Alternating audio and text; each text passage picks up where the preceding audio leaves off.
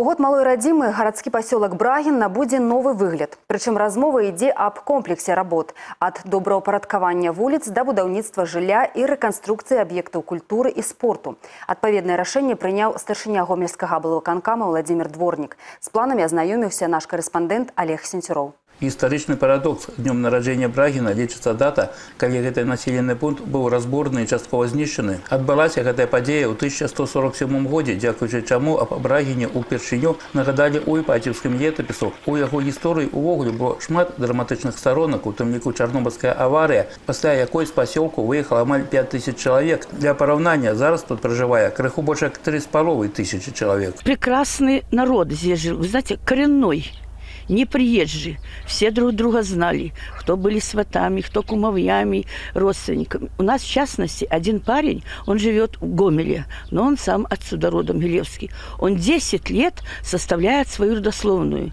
И вот мы с ним держим связь, и он говорил, уже полбрагина, полбрагина, он нашел родственников своих. Представляете? У пасля чарнобыльскай гісторыі брагіна быў перыяд, калі яго планавалі поўнасцю асяліць, а ўсе будынкі пахаваць. Па гэтай прычыне працяглы час тут не праводзілі проводили никаких работ ни по будаўніцтве новых объектов, ни по развитию існуючай инфраструктуры. Ситуация начала изменяться только в середине 2000-х, але полностью привести городский поселок в належный стан оказалось зовсім непросто. Запланирована реконструкция станции без железа, установка новых фильтрующих элементов, где качество воды будет улучшено.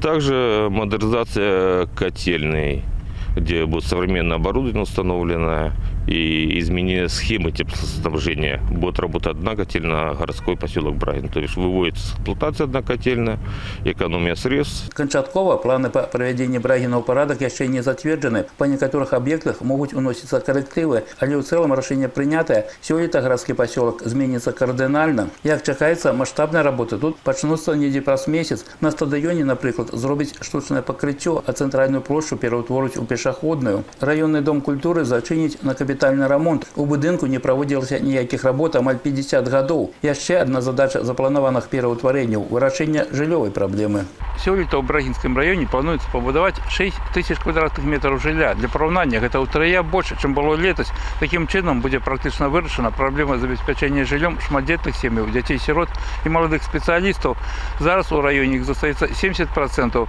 цяпер гэта лічба будзе напэўна больш невялікая колькасць моладзі ў структуры насельніцтва брагінчыны адна з галоўных дэмаграфічных праблем хоць назваць сітуацыю катастрафічнай таксама нельга сёння ў бранінскай дзіцячай школе мастацтваў і яе філіялах займаецца амаль 160 дзяцей гэта сапраўды таленавітыя дзеці толькі ў мінулым годзе яны прывезлі з рэгіянальных і рэспубліканскіх конкурсаў і фестывалю 14 дыпломаў практычна палова з якіх за першыя месцы для невялікага населенага пункта гэта вельмі значнае дасягненне якімі тут ганарацца самая вялікая праблема ў тым што практычна ўвесь час існавання установы займацца пры знаходзілася ў прыстасаваных памяшканнях. Новый навучальны год тут урэшце плануюць пачаць ва ўласным будынку. 1 сентября откроем новое здание и войдем в школу в новые двери. И я думаю, что обеспечение обучения на высшем уровне и на качественном уровне, это тоже зависит не только от учителей, но еще от условий, в которых они обучаются. Олег Сентеров, Евген Макеенко, телерадиокомпания «Гомель» с Брагином.